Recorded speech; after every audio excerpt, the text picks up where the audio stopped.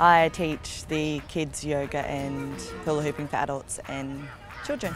Yoga, they definitely get obviously all the mindfulness benefits that go with that, breathing and the hula hooping, I guess all of it, we do it outside. So they get to go outside. Hula hooping um, activates all your muscles in your body.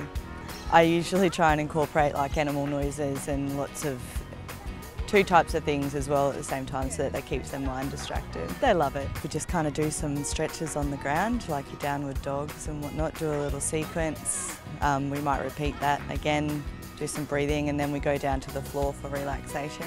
This is a change of life. It most probably will leave them in good stead for later on, especially the young children. And not only that, council is now asking for people who, have, who would like to see a different program or a different uh, activity implemented into the change project to come forward with their ideas. Let council know and at the end of the day there is a magnificent prize to the value of $200